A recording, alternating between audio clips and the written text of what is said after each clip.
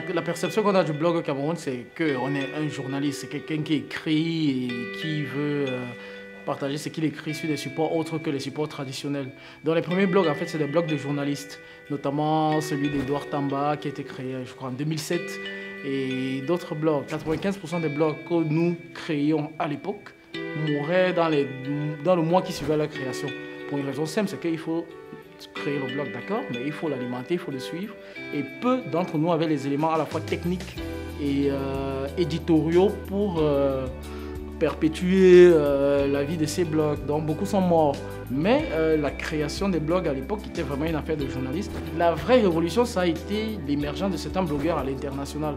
C'est-à-dire qu'il y a plein de gens qui ont commencé à bloguer, qui bloguaient dans leur chambre, etc. Mais le tout n'est pas d'écrire un texte dans sa chambre, mais c'est qu'il soit lu dans le monde. Quoi, voilà. Donc il y a plein de blogueurs qui ont commencé à réussir, qui ont commencé à avoir des prix, qui ont commencé à avoir une visibilité autre que celle de leurs voisins et de leurs camarades de lycée. Voilà. Je crois que c'est là que beaucoup de blogueurs ont réalisé qu'en réalité, ils n'étaient pas enfermés dans une espèce de bulle, mais que Internet était en fait une espèce de monde dont ils n'avaient pas conscience des limites. Et on a été desservi très longtemps par le taux de pénétration d'Internet, qui même à présent est assez faible au niveau du Cameroun. Donc du coup, une marque elle vous pose une simple question. Qu'est-ce que je gagne à investir sur vous alors que je peux faire des affiches dans la rue et à dire que ah, voilà, euh, le nouveau euh, jus de fruits, etc. est disponible dans tous les magasins, etc. Mais le véritable défi était de trouver la véritable masse critique qui permet d'agglomérer un certain nombre de personnes autour du lectorat d'un blog. Et ça, ça a été très difficile. Mais beaucoup ont transcendé ça.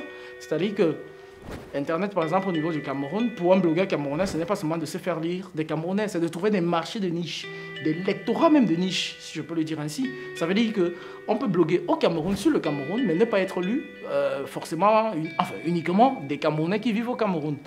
C'est ce genre de marché en réalité de niche qu'on qu'on est arrivé à proposer aux marques. Et les marques adhèrent au, vu de la visibilité que nous avions, ils se sont dit, mais voilà, euh, c'est un vrai marché que nous pouvions attaquer.